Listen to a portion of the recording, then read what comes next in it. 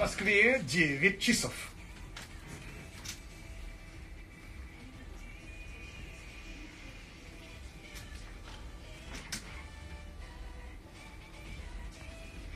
Это шоу с черным перцем на Раджи Energy. Здесь Катя Калинина. И мистер Саймон. И, конечно, человек, которого считают своим электрики. Ведь его било током столько раз. Парень, у которого ничего общего с носками. Потому что он никогда не теряется. Дамы и господа, актер шоу «Импровизация» на ТНТ Дмитрий Поза! Привет, ребята. Привет, привет. Как просыпаешься в такую рано? Очень плохо. Это все, это все бессмысленно. Я встал в 7 утра и ехал через всю Москву ради вас, ради Ну, всех вас.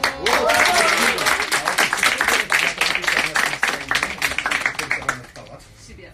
Я, я же все прослушал, были же аплодисменты. Ну, хорошо, что ты делаешь в такой ран, чтобы поднять себе Ну, настроение? я нет, я, я даже не испытываю никаких иллюзий. Я, мне же уже за 30. Я уже, вот у меня было в жизни много утр. Я уже знаю, что не надо делать ничего, ничего не поможет. Я очень в плохом настроении каждое утро, потому что я, я просыпаюсь, ну, в 10. Ну, в 10 вот нормально. В 7, как сегодня, это... Я просыпаюсь, и пока я собираюсь, я думаю о том, что я днем посплю, я днем посплю, я днем Вот так договоримся. Ты пока сейчас во сне. Ну нет, я, я проснулся, да, но днем посплю. Дима Позов разговаривает во сне, и причем в прямом эфире. Ну, не говори. Эксклюзивно. А, Дим, смотри, а, сейчас а, мы представляем тебя как актера шоу «Импровизация», и нам в интернете пишут, а, спросите его про кино, спросите его про кино. Ты собираешься снять как- э, сняться в каком-то фильме? И Если в каком, то снялся бы. Да ну это же как, это не от меня зависит, по идее. Я-то могу А собирать. почему не от тебя? Ну, то есть, если к этому стремишься, я уверен, Да, что... ну нет, я, я, я знаю, что если ты актер, то надо ходить на кастинги. Ну да. У нас же есть профессиональный актер один из нас, Арсений Попов. Ага. Он так часто слышит в своей жизни нет, что я, к- я к этому не готов. Я, я не могу ходить на кастинги, в очередной раз там что-то, не знаю, сталкиваться с тем, что тебя выбирают и так далее. Поэтому я могу собираться сколько угодно, но если меня однажды позовут, я посмотрю, что за фильм. Ну а на какой бы ты фильм согласился? Ну, в каком жанре, если... Да я даже не знаю. Игры Ну, престолов больше нет, давай другой. Но там же В любом, в любом. Я, я бы не стал сниматься в комедии, потому что А, я, я уверен, что российская комедия будет плохой. Мы же комедия, ни кстати, одной хорошей российской Кстати, сложнее, на самом деле. знаю. Какая? Не скажу. Ну, я Который хороший тоже. ты? Служебный роман, отличная комедия. Не, если в советскую, я, конечно, пойду. Но советские комедии уже, к сожалению, все сняли. Ну ладно, смотрите, вот э, Дмитрий очень много постит о своей семье у себя в Инстаграме.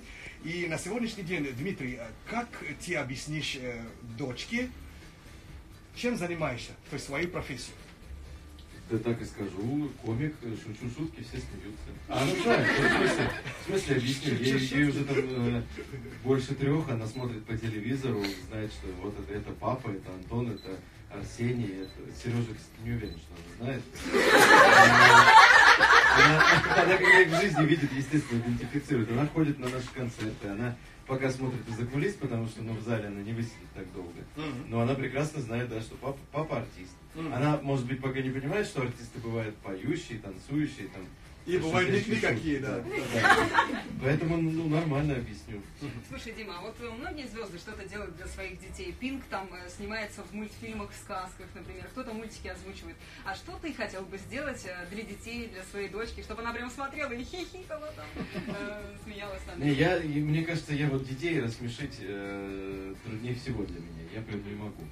А потому что я же не сильно там умею кривляться, а мне кажется, им смешно вот как раз вот это. Ну, бывает, что в жизни там удается мне рассмешить дочь, ну, прям редко. Поэтому я не знаю, я вот, вот так, чтобы всех детей раз- развеселить, вряд ли меня получится. Я всем игрушки купил, они все были рады. Вот э, вчера я, я торчал у тебя в Инстаграме, и я одну, одну вещь понял. Ты, ты питаешь иллюзию, что тебе 13, да? Но я провел время, скажем так. Вот, и э, я одну вещь понял, что э, у тебя есть такое выражение, ты его называл типа комики новой школы. А, да. Это те, кто заходят и начинает матом, то есть, э, ну, шутить, да? А, а на самом деле это же всегда было. Если ты помнишь, я помню, Билл Казби без мата абсолютно выходил. И появляется Эдди Мерфи. Очень грязный рот, просто вообще чешет на, на мате, то есть от начала до конца. А, то есть, ты считаешь, кто виноват, сами комики или те, кто их слушает? Слушай, ну, э, естественно, когда я их называю там комики новой школы и говорю о том, что они разговаривают матом, естественно, я где-то там передергиваю, преувеличиваю. Вопрос ведь не в том, что человек во время там своего какого-то выступления может там, сказать какое-то количество матерных слов. Я тоже могу. Есть, ну, понятно, что в телевизоре всем нам это запрещено, но где-то мы это можем, да. Э, Вопрос в том, что многие из этих комиков, они просто так разговаривают. То есть в этом нету ни юмора, ни шуток. Они, э, любой комик, э, который прошел там долгий путь от, не знаю, от КВН, стендапа, там, импровизации и так далее, дошел до телевизора, он всю свою жизнь сталкивался с тем, что, конечно, если ляпнуть матом, то будет что-то смешнее. Но, естественно, это нельзя, потому что на сцене нельзя, в телевизоре нельзя, на радио нельзя, нигде нельзя. И многие из этих людей сейчас, вот, ну, это вот абсолютно классическое э, слово «дорвались». И, и- можно, и да? решили, что вообще не нужно говорить шуток без мата, вообще невозможно рассмешить без мата. Они вставляют, ну, я не буду сейчас называть фамилии, что они все работают. Ну, У нас по- сегодня по-моему, в студии- мы, мы поняли, о, о- о ком речь идет, по-моему. Ну, их немало. А У многих, нас сегодня да. в студии актер э, шоу «Импровизация» на ТНТ Дмитрий Позов. Открытая студия у нас на радио. НН.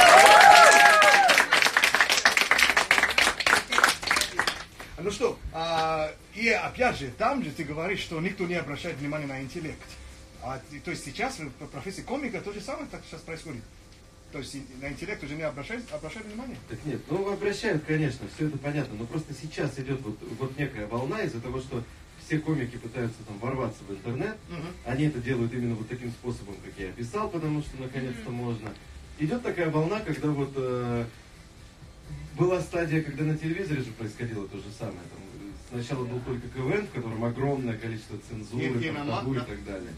Разговаривал э, матом, разве? Нет, нет, конечно, А. нет. В КВН было все очень запрещено. Ага. Потом появился телеканал ТНТ, где появился Comedy Club, и на фоне КВН это было там очень резко, Ага. очень там остро и так далее. Сейчас происходит то же самое. Сейчас уже юмор ТНТ для всех кажется прилизанным, и появляется интернет, где там люди врываются со всеми там пошлостями, матами и так далее. Эта волна обязательно пройдет, люди угомонятся, люди угомонятся по ту сторону интернета и по эту сторону интернета. Эти наслушаются э, всяких скобрезностей, И люди эти даже накажут. Люди накажут рано или поздно. То есть Ну они- нет, просто начнется другая волна, когда люди потребуют чего-то большего, и, соответственно, и комики по эту сторону тоже... Настанет эра интеллектуального юмора. Да уж. Ну, ведь сейчас, если посмотреть на шоу «Импровизация», то шоу «Импровизация» на фоне первых, особенно выпусков Comedy Club, это максимально интеллигентное, умное шоу. Потому что сейчас, сейчас такой юмор людям интересен. Еще лет семь назад все бы сказали, это слишком прилизано, слишком по-доброму, Ну, слишком... это такой новый формат, когда вы не знаете, э, мы, зрители, не знаем, что сейчас будет происходить. Ну, конечно, в этом живость, эта живость нужна людям, да. А скажи, как тебе э, легче шутить, когда ты уже придумал в голове шутку по сценарию, или вот так вот э, на сцене, по щелчку, когда тебе вкидывают все время какие-то новые Ну, я много лет уже не шучу по сценарию, поэтому трудно сейчас понять. Конечно, был период, когда мы там шутки писали, потому что также там пробовали себя в стендапе, не знаю, в КВН, еще где-то. Интереснее в любом случае, конечно, импровизировать, потому что написать шутку, ты иногда ее сидишь, пишешь, она не получается, потом тебе кажется, что она получилась, потом ты выходишь, говоришь людям, они не смеются. Это очень обидно. И ступор. И, кстати, эм, а, вам три года, да, в этом году, как я понимаю, да, что импровизация? Ну, получается, уже были. Ну, отвечали, да? То есть, э, Да. то- то есть три уже с лишним, да? И а, интересный, интересный пост ты сделал. То есть э, обычно люди э, привыкли спрашивать, а что дальше, да? Вот, и ты сам говоришь, что, может быть, не стоит именно мне такой вопрос задавать, а задавать э, подписчикам. То есть, по их мнению, что, что дальше вам придумывать, да? Ну, д- д- не, этот вопрос же нас преследует. Дело не в том, что нам три года. Этот вопрос нас преследует со второго дня. Мгм. Мне кажется, мы пришли вот там спустя неделю после первого выпуска, мы пришли на радиоэфир, и кому-то пришло в голову спросить, ну а что дальше? Сейчас, что дальше? Вот, ребят, вы запустили шоу, а что дальше? Вот. У нас все время ждут, что что дальше, и ты ответишь типа на НД. А, а подписчики что присылали прикольного? То ты сам же сделал, и читал это сообщение? Ну, читал, конечно, да. Ничего особо прикольного там не было. Можно еще закидывать, можно еще Нет, писать. поклонники-то они надеются, что мы навсегда, мы типа вот шоу импровизации Вечно, будет, да? да, Ну а Ну, вы как-то собираетесь с ребятами вместе, там накидываете, так, ребята, давайте, нам нужен новый контент, что сделаем? Бывают у вас такие планерки мозговые? Но мы же каждый раз, э, у нас, если посмотреть, там все равно передача меняется, у нас меняются форматы игр, меняется, да, меняется даже иногда подход к этим играм. То есть какая-то игра была, а потом видоизменилась, там и стала выглядеть по-другому. Поэтому перед каждым сезоном это А вы происходит. говорите, давайте уберем, пожалуйста, шокеры, я больше не могу. Нет, А он говорит, нет, шокеры оставим. Шокеры нельзя, мы, мы все понимаем, мы, мы знаем, что это игра, которую любят люди, поэтому, конечно, таких А, обсуждений. ну значит, с шокером мы скоро продолжим. Мы немножко музон-музон послушаем. Музон, музон. Вернемся. Да, и скоро вернемся, да, продолжим интервью с Дмитрием э, Позовом, как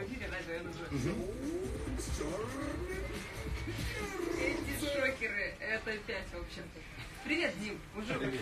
Так, Еще раз привет, привет, да. Так, да? микрофон никуда не положить, да? А можно вот сюда, вот на стойку, если мешает пока. А по попить что-нибудь принести? Можно водички. Водички, да. Водички, да? Обычные водички. Так, где у. Э, слушай, нам накидали вопросы э, Люди? тебе. Да. А. А, у нас в соцсетях. Если ты не против, мы их цвету сдаем. Есть. Ты красил когда-нибудь губы?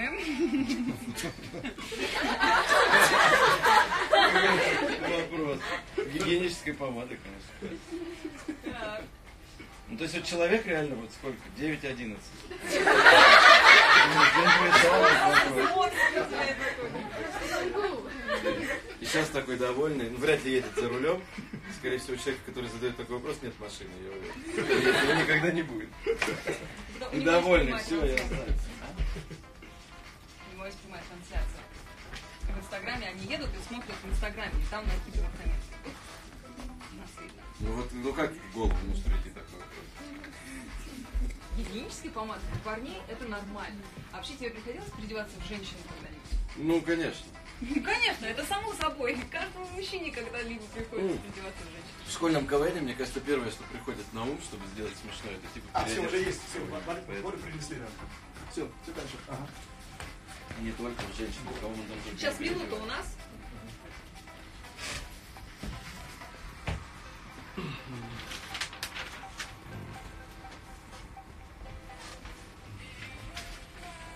Что, вы все проснулись тоже, да? Гаор стоит такой, конечно, не Во проснулся. сколько? Они пришли без радости. Оля, Анит, привет.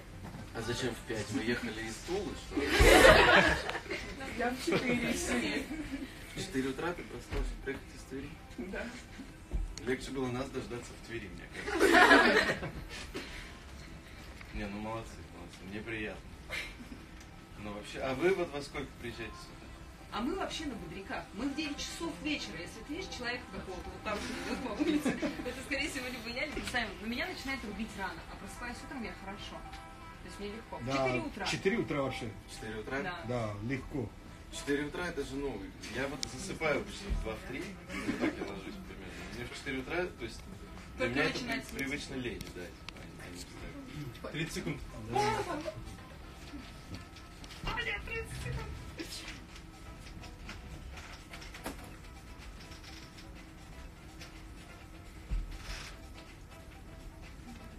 Ребят, с вас приветствие с аплодисментами.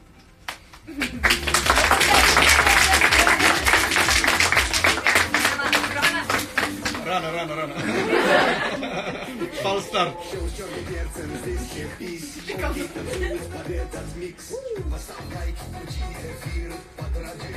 Флексит мир Разбудит, разбудит, разбудит Будет, будет, будет, будет На Energy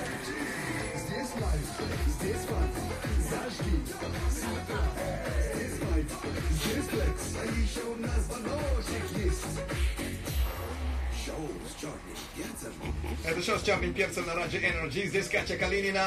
И мистер Саймон. И у нас, конечно, в гостях потрясающий человек, актер, резидент шоу импровизации на ТНТ Дмитрий Пауза.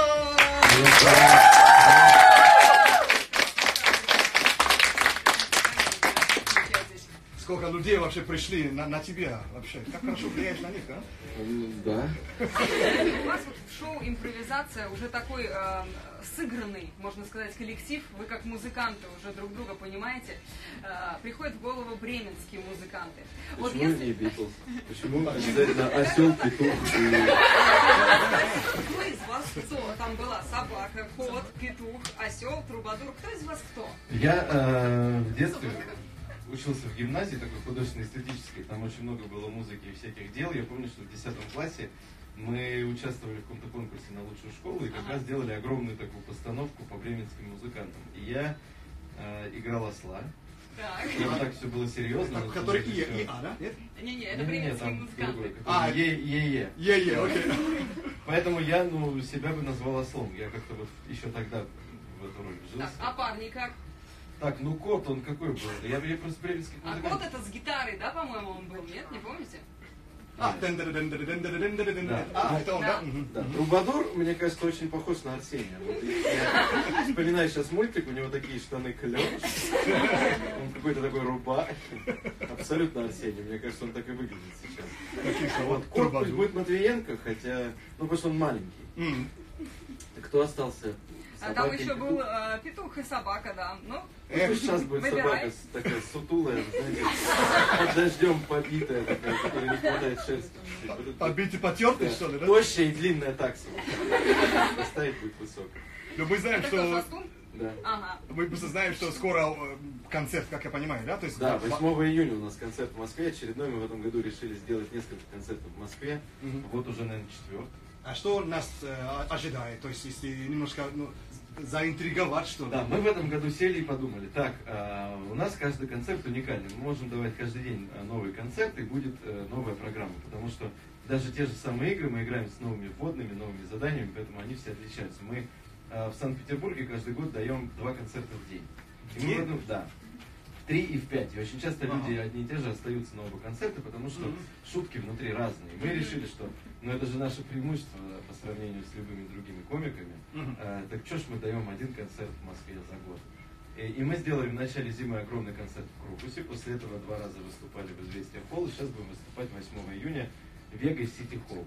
Этот концерт ничем не будет отличаться от других, кроме того, что он будет такой же смешной, такой же роскошный, такой же шикарный, и люди на наших концертах, очень важно понимать, что главное отличие от съемок, а, что все задания, которые на концерте э, даются, даются нам людьми из зала. Нету, нету ведущего поле с табличками, соответственно, наши концерты максимально интерактивные. На наших концертах приветствуется что-то выкрикивать, э, поднимать руку и так далее. Поэтому э, человек может не просто посидеть, поржать, он еще может в этом поучаствовать. И если вдруг кто-то сомневается, а, там, а мало ли, может, пацаны не импровизируют, вот Мгм. можно прийти, поднять руку, дать нам любую тему. Э, Но если уж мы на твою тему что-то покажем, то значит, наверное, наверняка мы импровизируем. Но у нас сейчас есть э, минута, чтобы быстро с тобой поиграть. Мы подготовились. Да? И да, мы же знаем, что ты человек прямо весь э, в Ты импровизации. умеешь импровизировать, Да. прям накидывать. Вот это блиц, то есть э, м, одним словом, э, что приходит на ум, когда ты услышишь А. эти слова. Хорошо? да, да. А крошка на кефире или на квасе? Э, Кефире, Так, э, машина или велик? машина, конечно. Кошка или африканская ули- улитка? Э, Надо африканскую улитку посмотреть.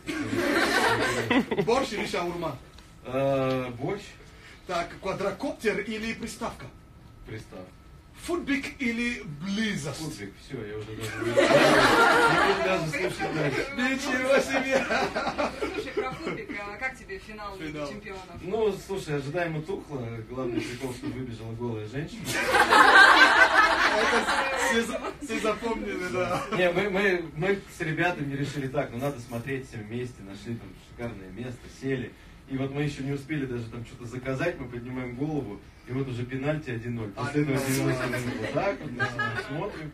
И в конце, ну понятно. В конце изюминка на торте, да? Ну да. В купальнике. А ты сам же понимаешь, что если бы такой э, ну, ранний гол не забивали, еще, еще хуже был бы матч. Скорее вообще. всего. Нет, ну вообще в этом году Лига Чемпионов была настолько шикарной, что До она финала, должна короче. была вот увенчаться таким тухлым финалом. Ты Потому за что, кого ну, болел?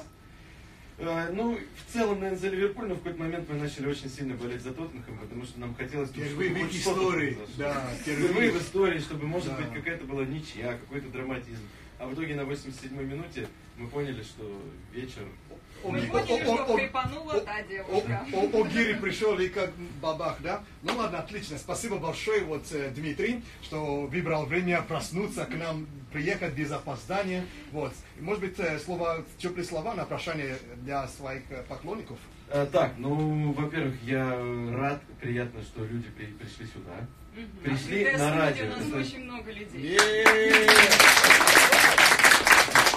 Люди пришли смотреть радиоэфир. Звучит глупо, но я, Вот я благодарен. Ну, да. Во-вторых, 8 июня всех ждем на нашем концерте. Э, Должно быть очень круто. Все лето, прекрасная погода. Делать э, в Москве много можно что делать. Но, допустим, один день можно пойти в парк, а другой день пойти э, в Вегас Сити Холл на наш концерт 8 июня. Будет очень круто. После концерта можно еще тусоваться, темнеет поздно. Лето, ура! Кто-то приедет в Москву в отпуск. Приходите, обязательно всех будем ждать. Это Ну? Дмитрий Пазов. Да, Спасибо. спасибо.